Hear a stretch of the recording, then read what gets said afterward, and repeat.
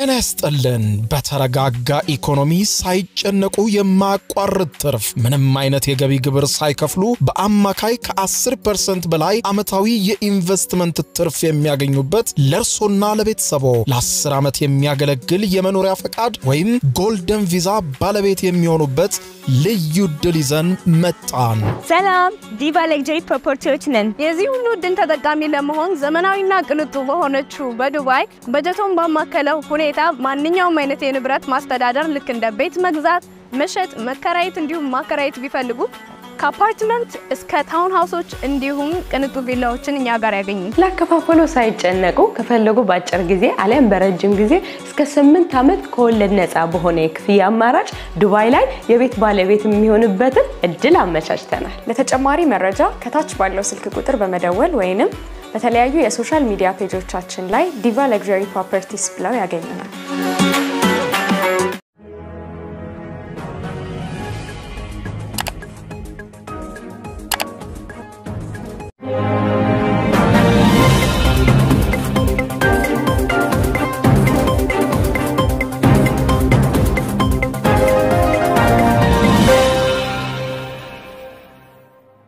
ጤና ይስጥልኝ ክቡራትና ክቡራን የዩቲዩብ ቻናል ቤተሰቦች የሰዓቱን አጫጭር መረጃዎች ይዤ ቀርብ ያለሁ እስከ ፍጻሜ አብራችሁኝ ቆዩ። ክቡራን አድማጮች በርከት ያሉ መረጃዎች ዩቲዩብ ላይ ሲጫኑ ቀድሞ ለእናንተ የማስታወቂያ መልእክት ወይም notification ይደርሷችኋል። ፈጣን መረጃዎችንም በየሰዓታቱ ልዩነት ትከታተላላችሁ። ወደ ዛሬው መረጃ ስናልፍ የሶማሌላንድ ብሔራዊ የቴሌቪዥን ጣቢያ ሰበር ዜና አሰምተዋል። በዛሬው ዕለት ይኸውም በርከት ያለ ቁጥር ያላቸው በሺዎች የሚቆጠሩ የሶማሌላንድ ወታደሮች ወደ ኢትዮጵያ ግዛት መግባታቸው ተሰምቷል።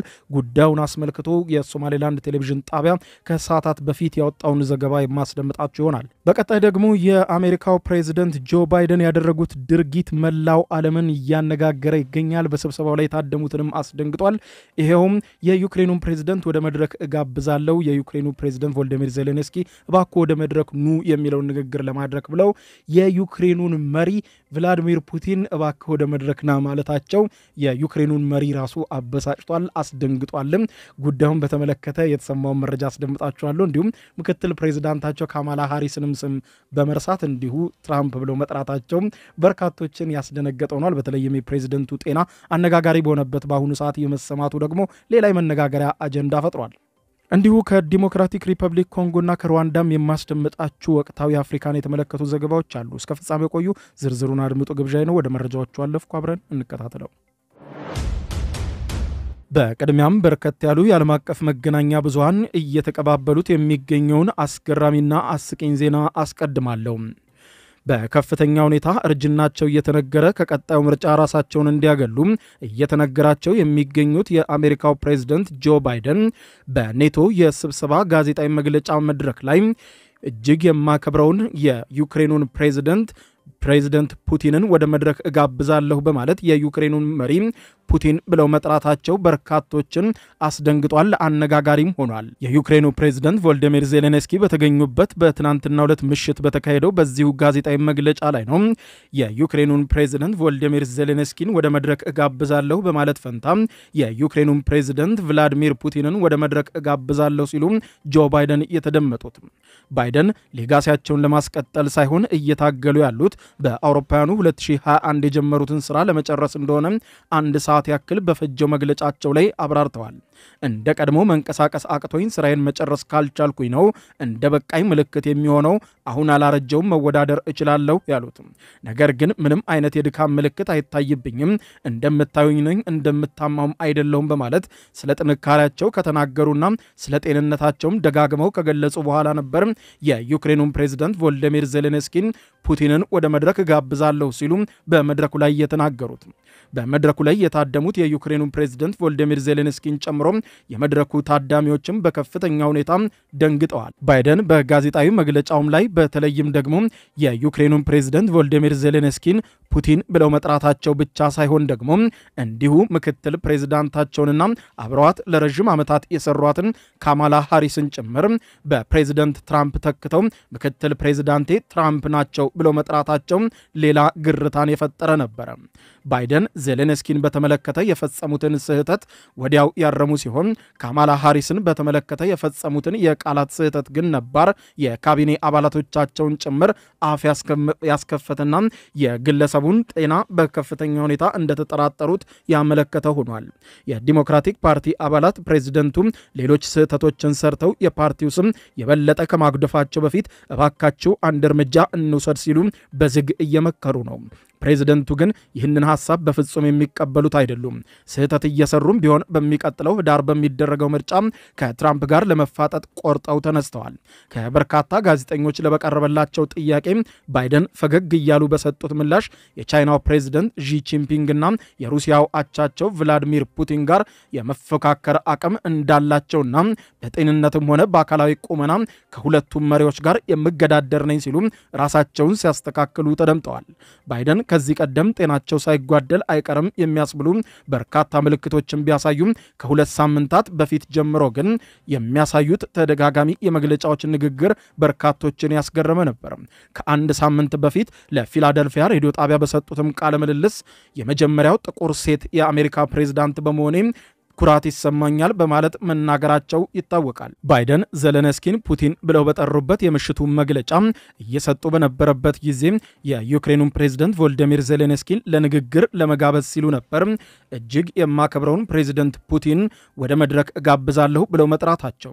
ዘለንስኪም በጠላታቸውና እየተዋጉት በሚገኘው በፑቲን ስም መጠራታቸው ክው አሰኝቷቸው ሳቅም አፍኗቸው ታይተዋል። ወዲያው ግን ጆ ባይደን የፑቲን ነገር አሳሳቢ ሆኖብን እዛ ላይ ብዙ ስለቆየው ነው ፕሬዚዳንት ዜሌንስኪን ፑቲን ብዬ የጠራኋቸው ሲሉ አስተባብለዋል። ዜሌንስኪ እኔ ይሻላለሁ ከፑቲን በማለት ታዳሚውን ፈገግ ለማስደረግ ሞክረዋል። የሆነው ሆኖ የባይደን ጤንነት አጠራጣሪ መሆኑን እየጠቀሱ መገናኛ ብዙሃን በስፋት ሁኔታውን አነጋጋሪ አድርገውታል። በሌላ ዜና በሺዎች የሚቆጠሩ የሶማሌላንድ ወታደሮች በተለያየ ተሽከርካሪ ተጭነው ወደ ኢትዮጵያ ግዛት ሲገቡ የሚያሳይ ቪዲዮም በሶማሌላንድ መገናኛ ብዙሃን በስፋት ተሰራጭቷል። የሶማሌላንድ ብሔራዊ መገናኛ ብዙሃን እንደዘገበው ከሆነ በሺዎች የሚቆጠሩ የሶማሌላንድ ወታደሮች ወታደራዊ ስልጠና ለመውሰድ ወደ ኢትዮጵያ ግዛት መግባታቸውን ይፋ አድርጓል። በመንግስት የሚተዳደረው የሶማሌላንድ ብሔራዊ ቴሌቪዥን ጣቢያ ለወታደራዊ ስልጠና ወደ ኢትዮጵያ የሚጓዙ ናቸው ያላቸውን በሺዎች የሚቆጠሩ የሰራዊት አባላት በተሽከርካሪ ጉዞ ሲጀምሩ አሳይቷል። የሶማሌላንድ ጠቅላይ ኤታማዦር ሹም ሜጀር ጀነራል ኑህ እስማኤል ለስልጠና የሚጓዙትን ሰልጣኞች ሸኝተዋቸዋል ብሏል። የሶማሌላንድ መንግስታዊ የሶማሌላንድ ቴሌቪዥን ጣቢያ ወታደራዊ ስልጠናውን በተመለከተ ከኢትዮጵያ መንግስት በኩል እስካሁን የተባለ ነገር የለም። ከሶማሌላንድ በኩልም እንዲሁም የሰራዊቱ አባላት ቁጥር በሺዎች የሚቆጠሩ ናቸው ከማለት ውጭ ምን አይነት ስልጠና፣ ምን ያክል ሰራዊት የሚለውን ጉዳይ ከመግለጽ ተቆጥቧል። Wall. ቴሌቪዥን ጣቢያው በበርካታ አውቶቡሶችና በደረቅ ጭነት ተሽከርካሪዎች ከሶማሌላንድ ተነስተው ዋጃሌ የተባለችውን የድንበር ከተማን አቋርጠው ወደ ኢትዮጵያ ግዛት ሲገቡ በቪዲዮና በፎቶ አሳይቷል። ይህንንም ጉዳይ በተመለከተ ከኢትዮጵያና ከሶማሊያ መንግስት በኩል እስካሁን በይፋ የተባለ ነገር የለም። ከስድስት ወራት በፊት የሶማሌላንድ ከፍተኛ የጦር መኮንኖች አዲስ አበባ ተገኝተው በወታደራዊ ትብብር ዙሪያ ከኢትዮጵያ አቻቸው ጋር ውይይት አድርገው እንደነበር ይታወቃል። በወቅቱ የኢፌድሪ የጦር ኃይሎች ጠቅላይ ኤታማዦር ሹም ፊልድ ማርሻል ብርሃኑ ጁላ ከሶማሌላንድ ጠቅላይ ኤታማዦር ሹም ሜጀር ጀነራል ኑህ ኢስማኤል ታኒ ጋር ዝርዝሩ ይፋ ያልተደረገ ልዩ ወታደራዊ ትብብር መፈራረማቸው ይታወቃል። ባለፈው ታህሳስ 22 2016 ኢትዮጵያ ከሶማሌ ተነጥላ ነፃ ሀገርነቷን ካወጀች 30 ዓመት ካስቆጠረችው ሶማሌላንድ ጋር የመግባቢያ ሰነድ መፈራረሟን ተከትሎ ሉዓላዊ ግዛቷ አካል እንደሆነች የምትቆጥራት ሶማሊያ ከኢትዮጵያ ጋር ከፍተኛ መካረር ውስጥ መግባቷና ዲፕሎማሲያዊ ግንኙነቷንም ማቋረጧ አይዘነጋም። ይህ ስምምነት ለተገንጣይዋ ሶማሌላንድ እውቅና የሚሰጥ ሶማሌላንድ ደግሞ በምላሹ ለኢትዮጵያ የባህር በር እውቅና ለባህር ኃይል የጦር ሰፈርም የሚውል የባህር ጠረፍ እንድታገኝ የሚፈቅድ ስለመሆኑ መዘገቡ አይዘነጋም። ከዚህ ስምምነት በኋላ ሶማሊያ በሞቃዲሾ የሚገኙትን የኢትዮጵያን አምባሳደር ከሀገር አስወጥታ በአዲስ አበባ የሚገኙ አምባሳደሯንም መጥራቷ ይታወቃል። ኢትዮጵያ ከሶማሊያ ተገንጥላ ነጻ ሀገርነቷን ያወጀችውን ሶማሌላንድ ሰራዊትን ለማሰልጠን ወታደሮችን የመቀበሏ ሪፖርት በአዲስ አበባና ሶማሊያ መካከል ያለውን ውጥረት የበለጠ ሊያባብሰው ይችላል የሚለው ቢቢሲ ይህ የሶማሌላንድ ወታደሮች ለስልጠና ወደ ኢትዮጵያ የመግባት ዜና የተሰማው የሶማሊያው ፕሬዝደንት በኤርትራ ወታደራዊ ስልጠና ላይ ያሉ የሶማሊያ ወታደሮችን ከጎበኙ ከቀናት በኋላ ነው። የሶማሊያው ፕሬዝደንት ሐሰን ሼህ መሐመድ ባለፉት ሰባት ወራት ከኢትዮጵያ ጋር ወዳጅነቷ ወደ ተቀዛቀዘችው ኤርትራ ሲጓዙ የባለፈው ሳምንቱ ለሶስተኛ ጊዜ ነበር። ፕሬዝደንቱ አስመራ ኤርትራ ሲደርሱ በአቻቸው ኢሳያስ አፈወርቂ ደማቅ አቀባበል የተደረገላቸው ሲሆን በቆይታቸውም በኤርትራ ስልጠና እየወሰዱ ያሉ እጩ የሰራዊቱ አባላቶቻቸውንም ጎብኝተዋል።